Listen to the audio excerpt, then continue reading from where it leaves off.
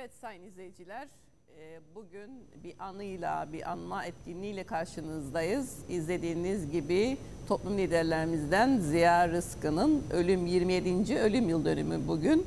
Onu 1994 yılında kaybetmiştik. O eski milletvekillerimizden Girne'nin ilk Türk Belediye Başkanı olarak da andığımız e, mücadeleci bir lideri konuşacağız bugün. Ve bu çerçevede de Ziya Rızkı Vakfı'ndan konuklarımız var.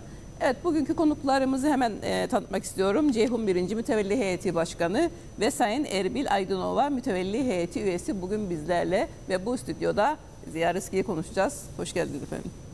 Hoş bulduk. Evet gerçekten bir toplum liderinden bahsediyoruz aslında. Mücadeleci bir kişilikten bahsediyoruz. Kıbrıs Türk'ünün mücadele tarihine baktığımızda öne çıkan isimlerden birisi e, Ziya Rızkı.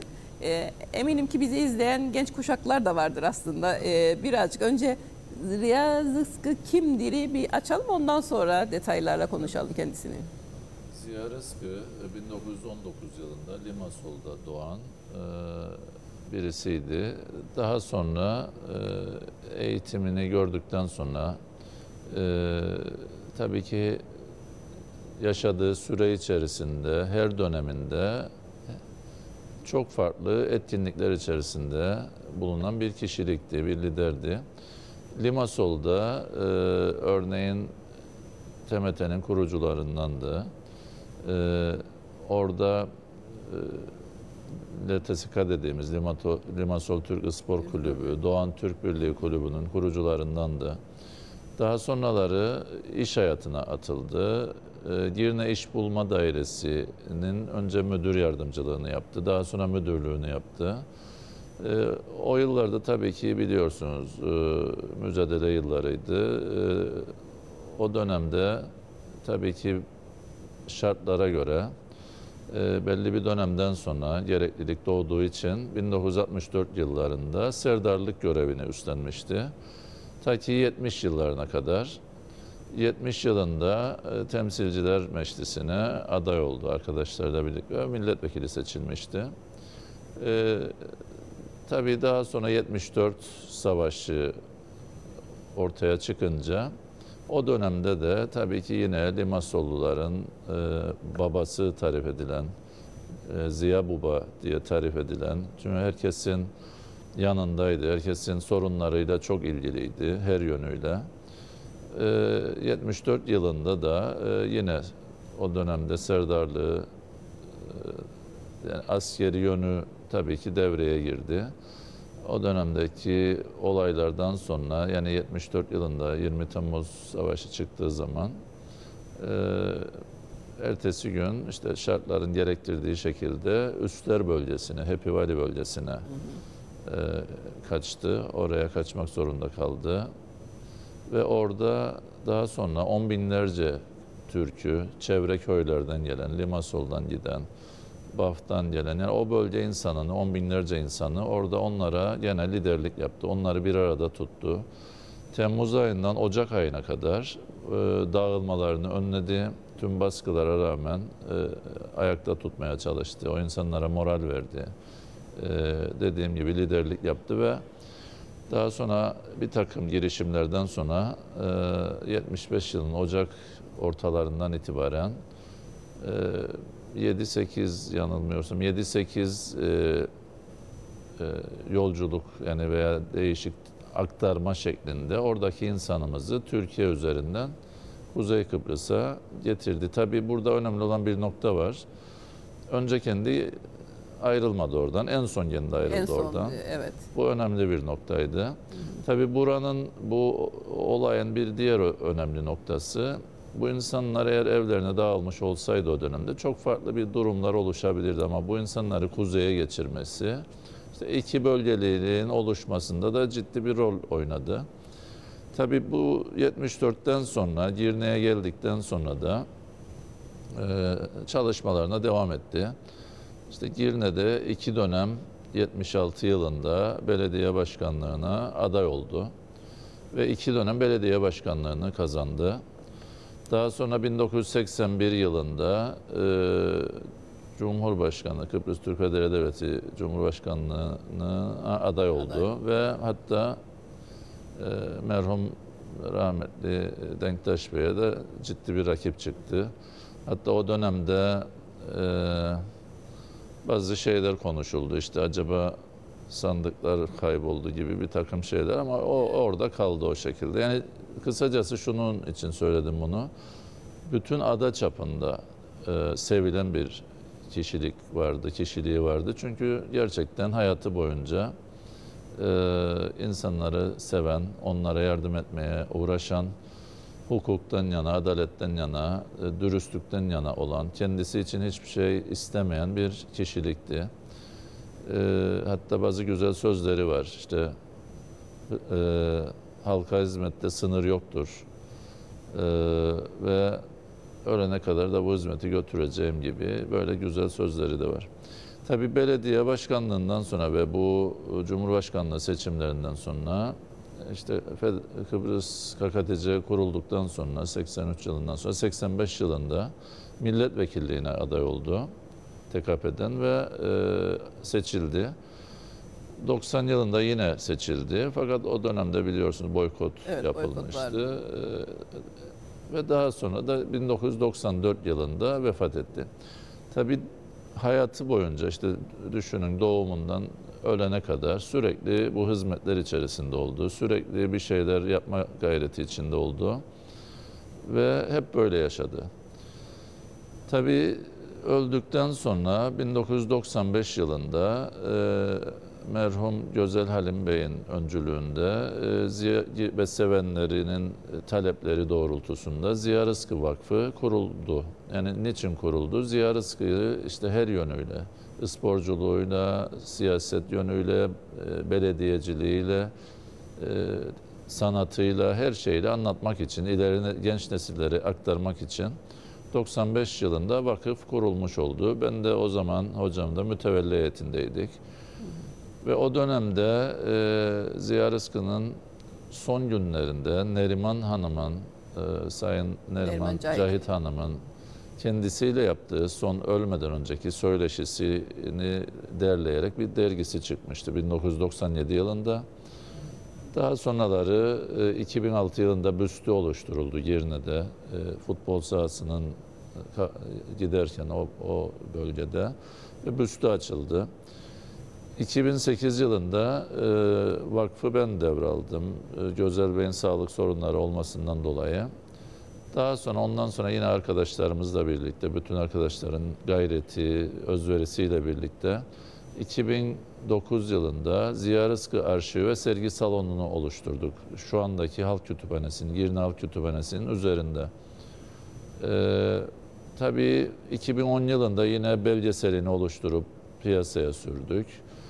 Ee, daha sonraları pulunu, o dönemlerde pulunu çıkarıp yine piyasaya sürdük.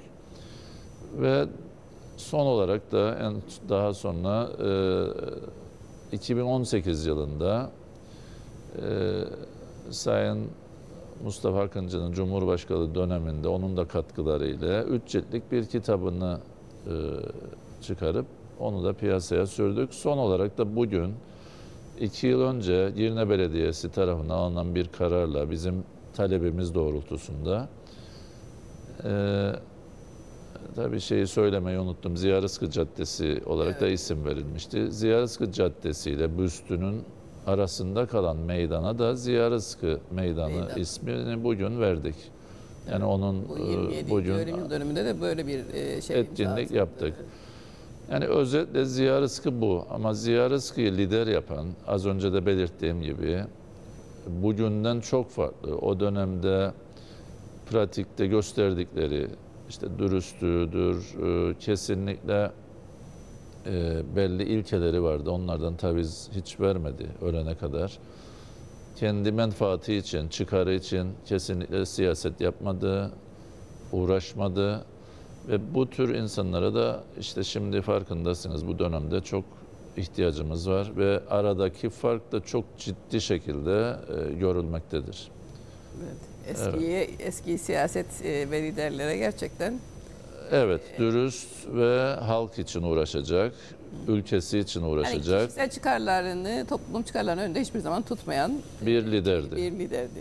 Evet. Evet birazcık e, Erbil Bey'e dönmek istiyorum ben. Şimdi Leymos'un da aslında hep kendisi biraz da Leymos'unla özdeşleşmiş bir isim aslında. Evet. Hep e, burada. E, Leymos'un da e, onun e, gençlik yıllarında beraberdi. Nasıl tanınırdı? Yani e, Ziya Baba oluşu nasıldı yani halk arasında nasıl oldu o tabirin kendine söylenmesi? Neden Ziya Ve Baba, baba, evet. ismi takıldı? Esasında Ziya Bey küçük demeden, orta yaşlı demeden, büyük demeden bütün Limasol'da yaşayan kişilerin yardımseverliğiyle iyi durumlara gelindiğini ve onun titiz çalışmalarını daima örnek alaraktan bugünlere gelmemizin ana nedenleri bunlar idi. Ziya Bey herkesin sevdiği kişiliğe sahip olan Ziya Bey'le bizim de gerek talebelik döneminde gerekse talebelikten sonra öğretmenlik döneminde gerekse olayların 21 Aralık 1963'te patlak vermesiyle kendimizi onun tam idaresinde bulduk. Çünkü Serdar görevi sancaklardan sonra gelen ikinci adam rolü serdarlık makamıydı. Onun serdarlığı döneminde de kendisinin çalışmalarına vakıf olduk, izledik. Çünkü ayrılmaz bir ortam yaratmıştı. En büyük özelliklerinden biri de arşiv yapmasıydı. Günlük gazetelerin beyanatlarındaki önemli kısımları keser ve dosyasında önemli günlerin yaşatılması için ne yapılması gerekir? Onlar üzerinde alt kademedeki kişilere daima yön verirdi. Onları o yönde nasıl eğitecek, nasıl çalıştırılacak ve Limasol halkının ne şekilde birlik, beraberlik içerisinde hareket ederekten bugünlere gelebileceğini onun çalışmaları sayesinde öğrendik, vakıf olduk ve bugüne kadar da onun izninden de ayrılmadık. Devamlı onun verdiği örneklere göre de hareket etmekteyiz. Bize bu ruhu aşıladığı için bugün bir kez daha ölüm yıl dönümünde ondan bahsetmek, onun hatıralarını gündeme getirmek herhalde bütün Limasol halkının vazifesidir, görevidir. Yani Ziya Bey'in söylenecek çok sözler vardır ama biz onun döneminde yetiştik ve şimdiki dönem ile kıyasladığımız zaman çok büyük farklar vardı. Eskiden bir kitabet durumu vardı, bir giyim durumu vardı, bir saygı durumu vardı. Ama o dönemlerde yaşanan bu ciddi durumlar bugün maalesef göremiyoruz ve bir şeyler kaybettiğimizin farkındayız. Onun için bugünkü bu nedenle burada bulunmaktan da gurur duyuyoruz ve buradan bizden büyük, bizden küçük olanlara aydınlatma açısından doğru, dürüst nasıl hareket edilecek ve günlerimiz karışık günlerdir. Bu karışık günlerden de nasıl kurtulmak için birlik, beraberlik içerisinde hareket etmemizin koşul olduğunu inanırım ve uymak zorunda da olmalıyız.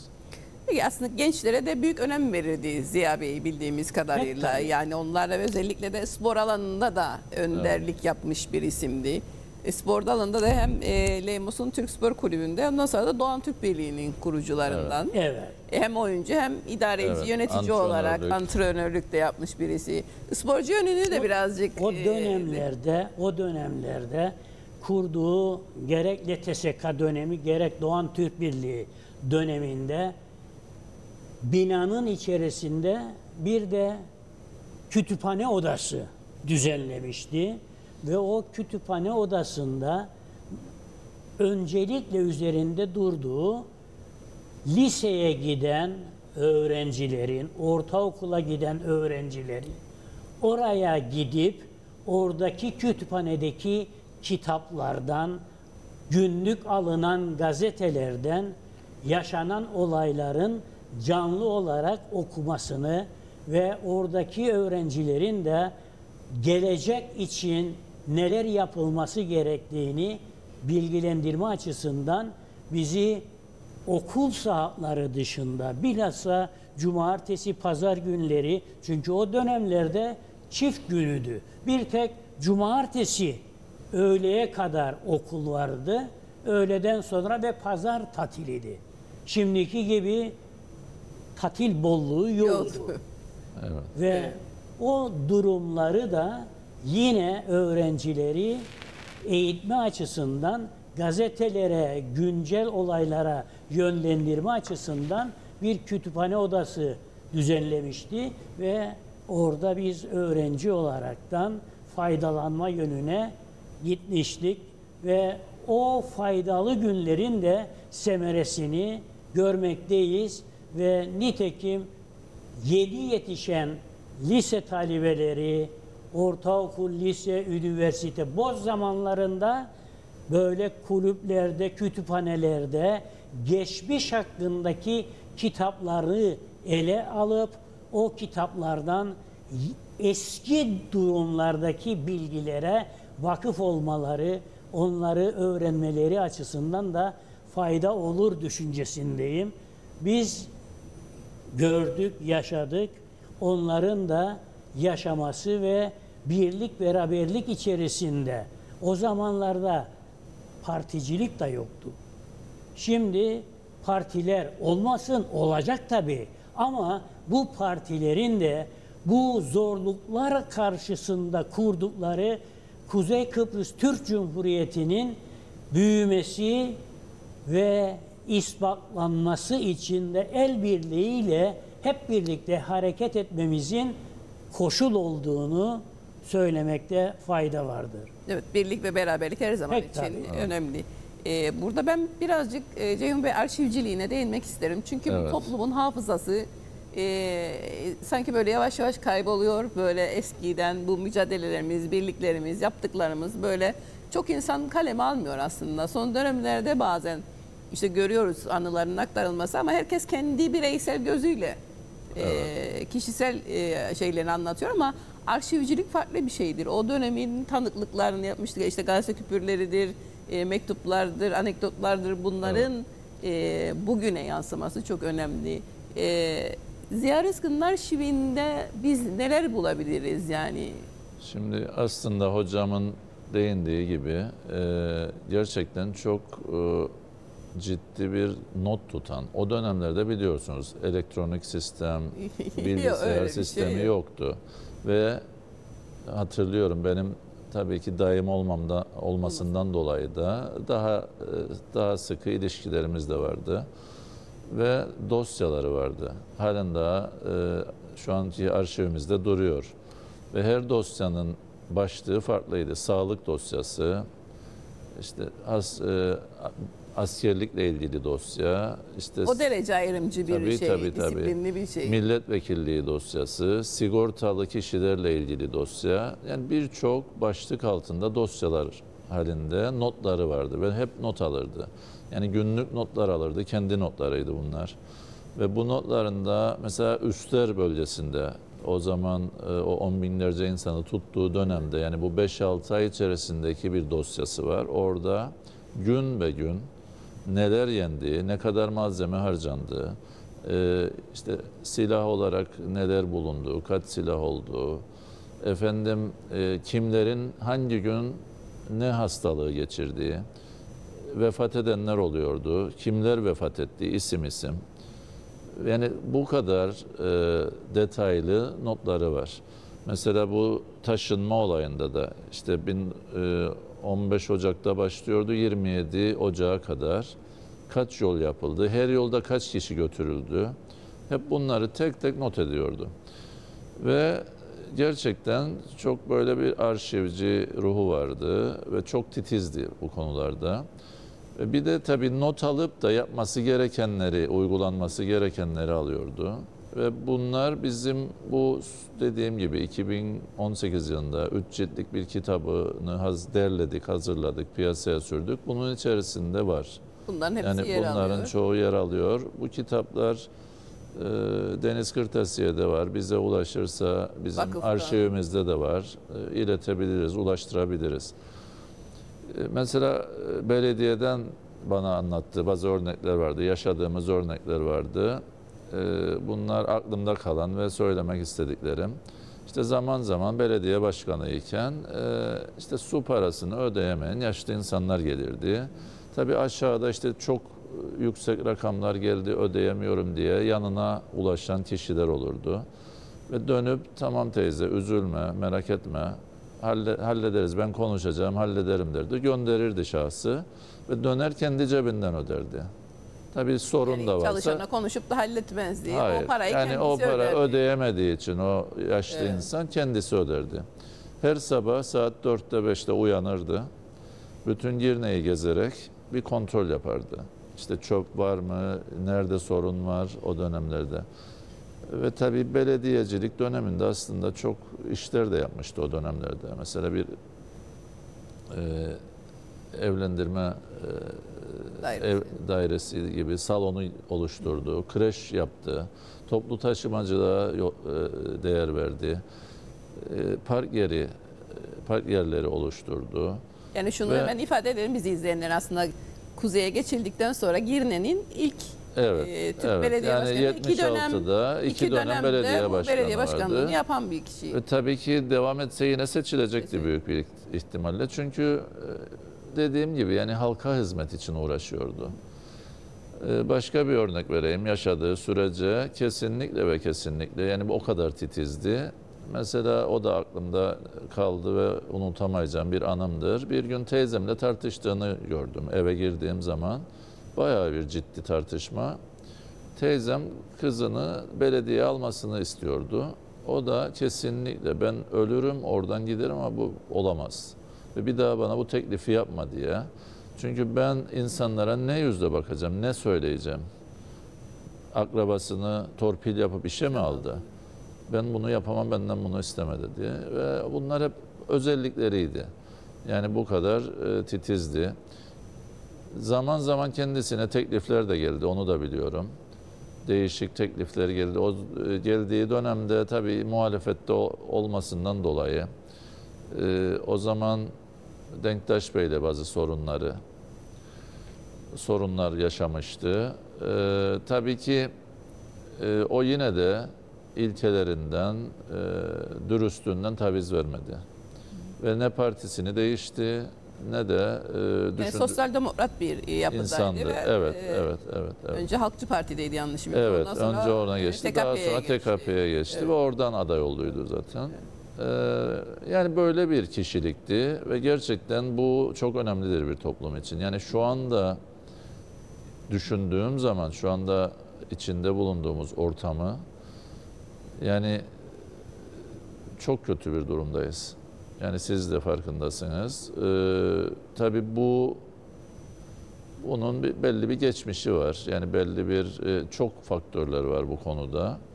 Ama bu kadar e, bozulmamak lazımdı. Yani bu kadar kişilik, kişisel çıkarlar için bu toplumu bu hale getirmemek lazımdı. Oraya vardı şu andaki yani neredeyse e, biz yokuz. Biz Kuzey Kıbrıs'ta yokuz. O zaman bu insanlar Ziya Rızkı gibiler. O dönemde mücadele eden insanlar, mücahitler veya her o dönemin insanları veya daha sonra bu ülke için, bu e, aday için mücadele etmiş ter dökmüş, uğraşmış insanları biz hiçe sayamayız. Yok sayamayız. Ve maalesef resmi makamlarımız bugün bunu yapmaktadır. Ben açık ve net söylüyorum. Ve bundan vazgeçsinler. Bu çok rencide ediyor Kıbrıs Türk'ünü. Kesinlikle kabul edilebilir bir şey değil. Ee, bu emeği geçen insanlara da ciddi saygısızlıktır, bizlere de saygısızlıktır. Yani Kıbrıs Türk'ü güzel düşündüğü zaman, toplum için düşündüğü zaman yapamayacağı şey yoktur bana göre. Yapabilir. Yeter ki müdahale edilmesin, rahat bırakılsın ve siyaset yapacak olanlar da başka düşüncelerinden buralara gelmesin. Yani Eğer- toplumsal değerlerimizi geçmişte biz geçmişten bizi bugüne taşıyan değerlerimizi unutur mu olduk? Yani onları a, E- sanki böyle gökten zembille buraya inmişiz gibi Tabii bir algı mı tabii yaratmaya çalışıyoruz şu anda yani bu Tabii ki. eski O görülüyor ve- unutarak. Maalesef, maalesef. Yani söyleniyor bu, konuşuluyor, açıklanıyor. Yani bunları ben üzülerek izliyorum şu anda ve e, bilmiyorum yani salgına da e, salgındandır da diyemiyorum. Yani bu e, espri yapayım, pandemidendir de diyemiyorum. Çünkü öncesine de dayanıyor.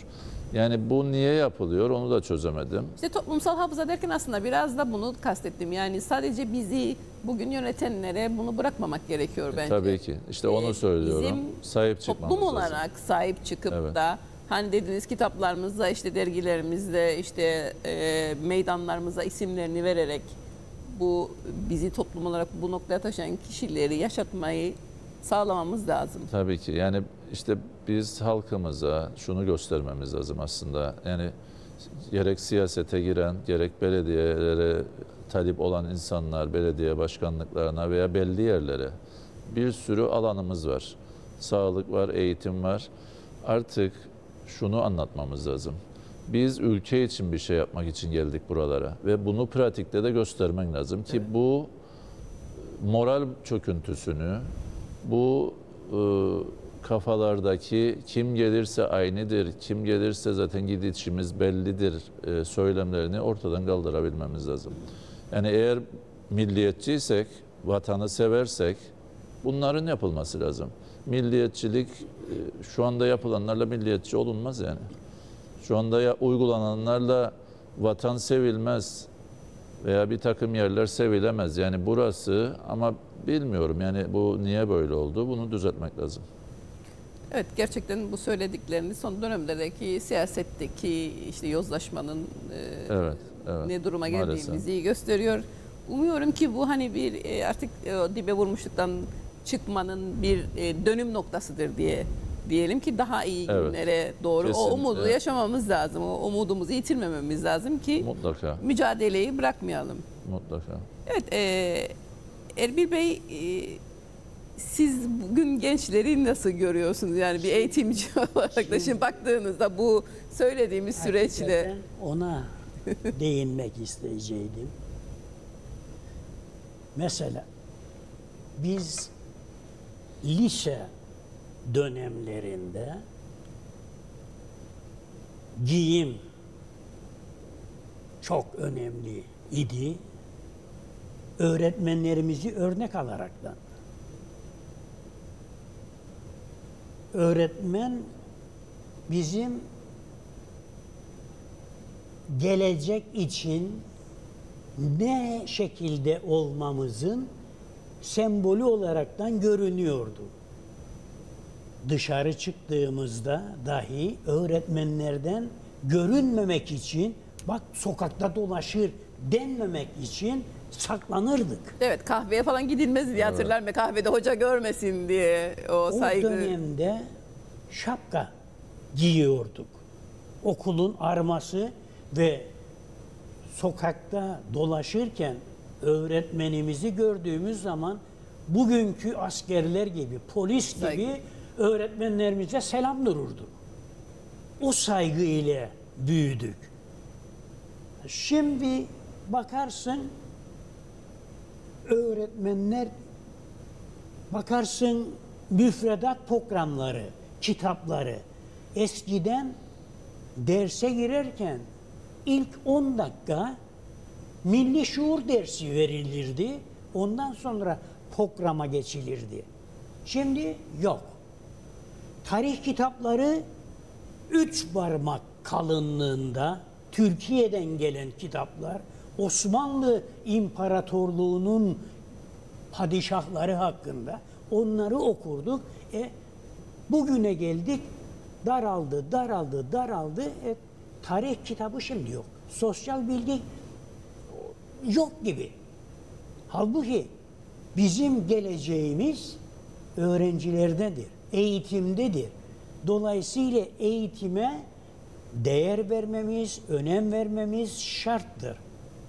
Nitekim gazeteleri takip ediyoruz.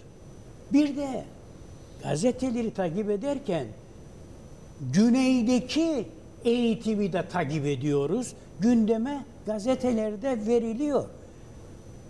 Türk ile bu Kıbrıs Cumhuriyeti ile bazı haklarımızı yırtıp attılar. Ne hakkı vardır? Ondan sonra birlikte beraber yaşayalım der.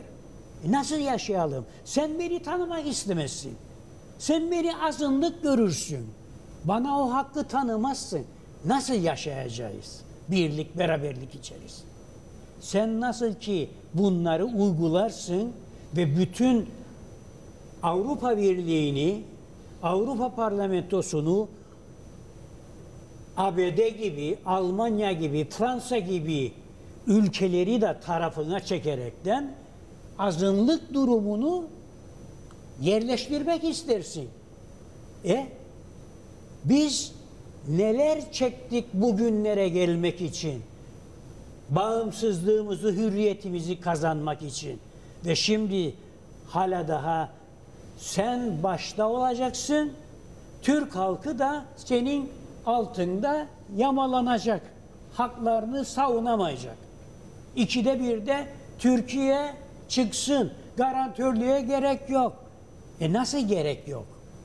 Ha görüyoruz, sizin gazetelerde de görüyoruz. Bunları ortadan kaldırmak için birlik beraberliğimiz şarttır.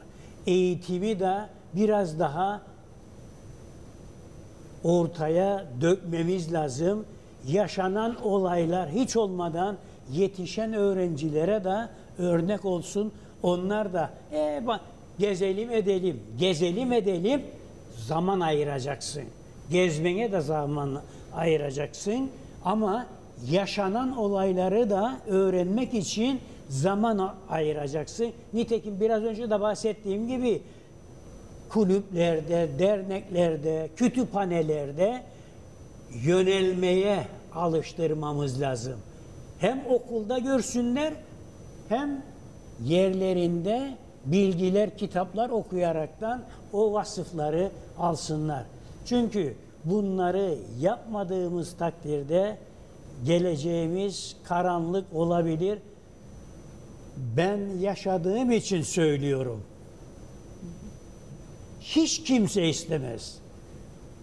Limasol çarpışmalarına değinecek olursak 24 saat ağzımıza bir Evet. lokma ekmek koymadığımız günler geçirdik. Limasol olarak alacak olursak dört bir tarafımız sarılı vaziyette, bazı bölgelerde iç içe yaşar vaziyette, bir tek Taksim Denizi ile liman arasında küçük bir alan ziyaret yerimiz, dinlenme yerimiz idi.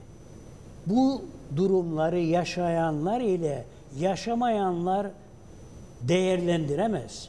Onun için zaman zaman okullarda ve zaman zaman tiyatrolarda ki eskiden bu milli günleri canlandıran tiyatrolarda gündeme getirilirdi.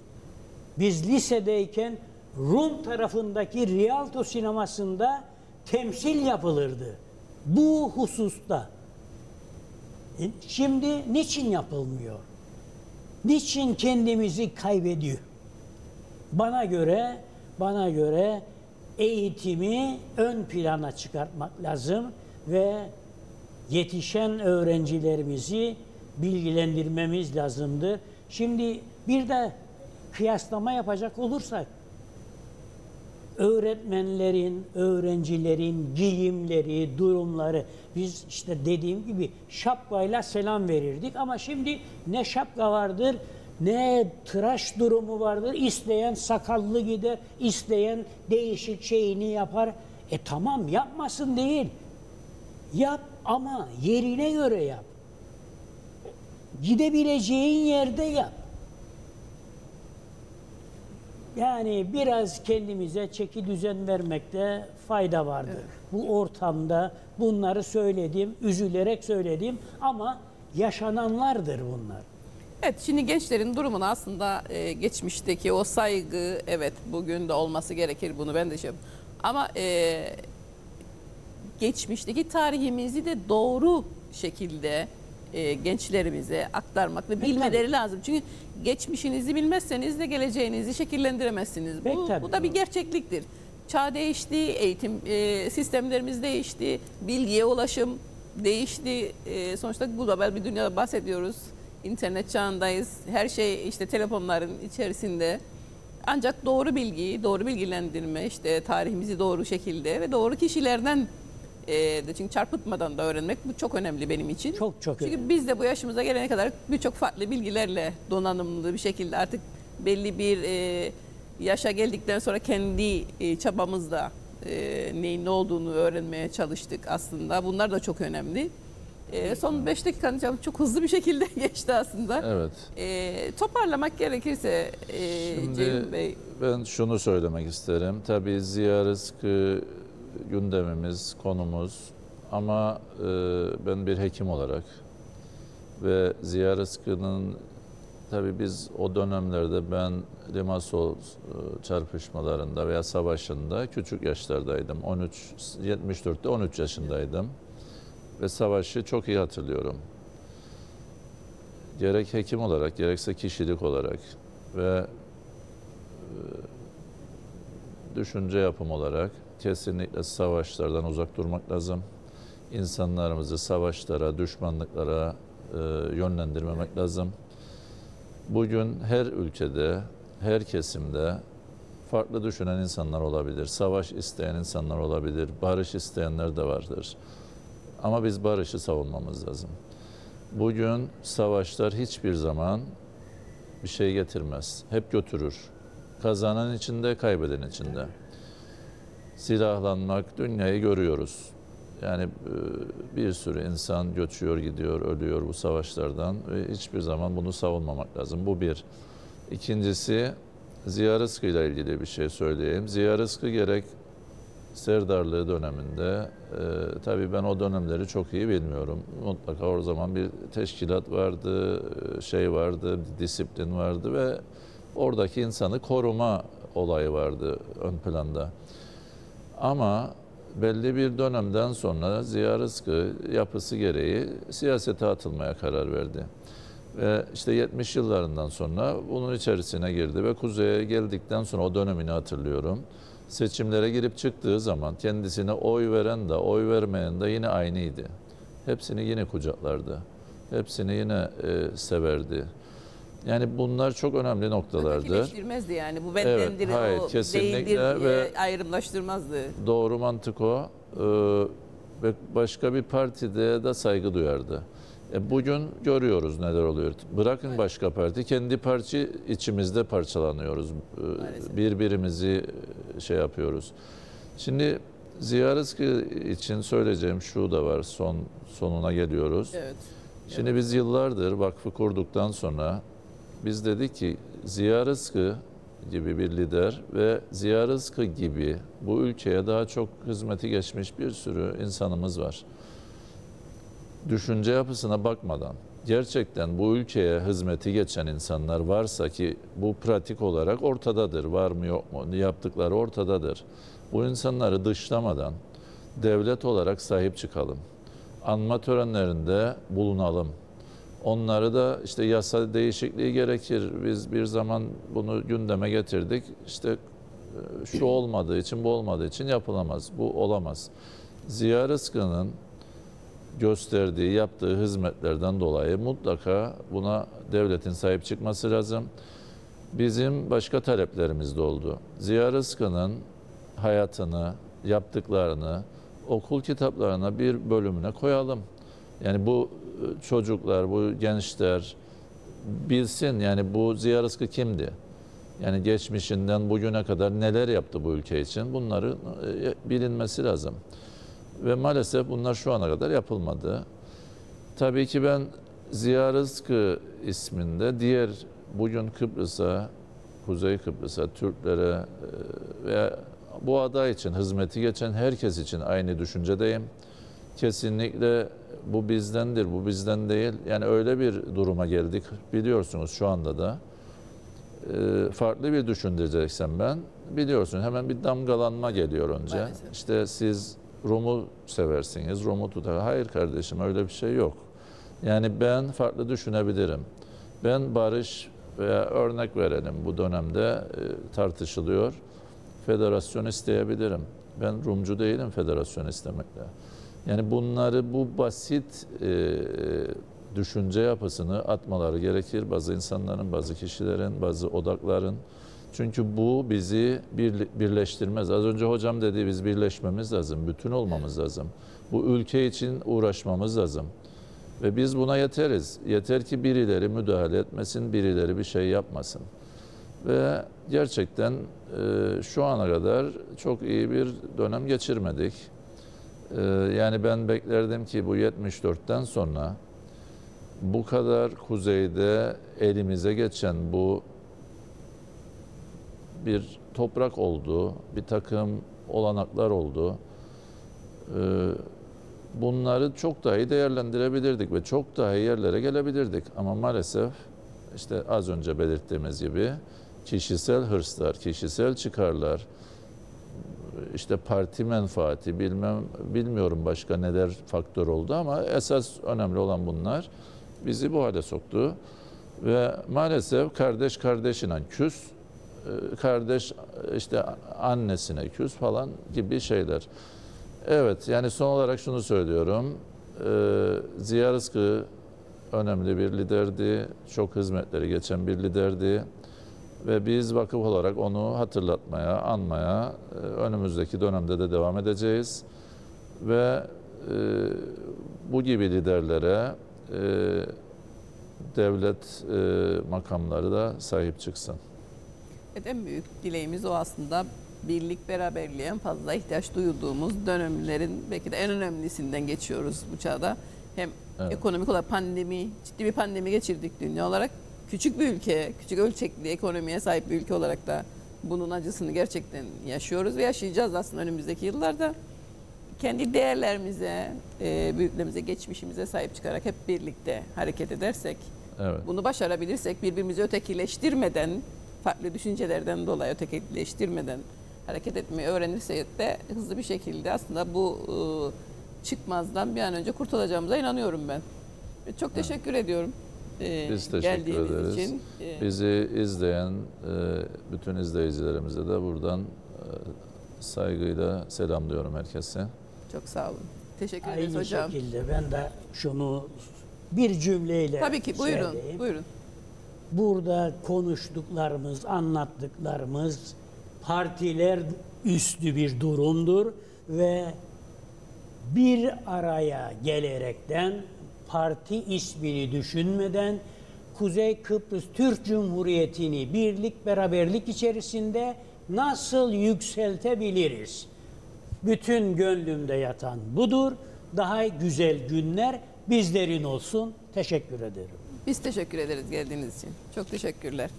Evet sayın izleyiciler, bugün toplum liderimizden Ziya Rızkı'yı andık. Ölümünün 27. yıl dönümünde. Evet buradan inşallah onu e, sizlere de anımsatabilmişizdir. Sizler de hani bir tarihin sayfasından Ziya Rızkı'yı bugün bir araştırma ihtiyacı hissedersiniz. Evet yarın saatler 14'ü gösterdiğinde biz farklı bir konuyla karşınızda olacağız. İyi bir gün geçirmenizi diliyoruz. Hoşçakalın.